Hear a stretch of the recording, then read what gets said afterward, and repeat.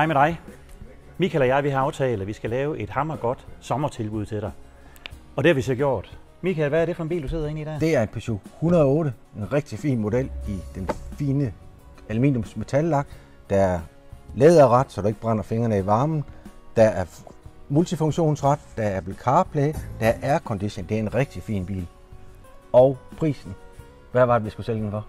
Jamen, hvad er det nu, den koster normalt? Jamen normalt så koster den jo ca. 118.000. Ja, og så aftalte vi, at det skulle være et rigtig godt tilbud. Ja, Så vi har faktisk aftalt, at vi vil sælge den for 100.000, som det står her. og det er med motor Det er med det hele. med det hele. Ja, så øh, kom ned og kig på den her bil. Vi ses.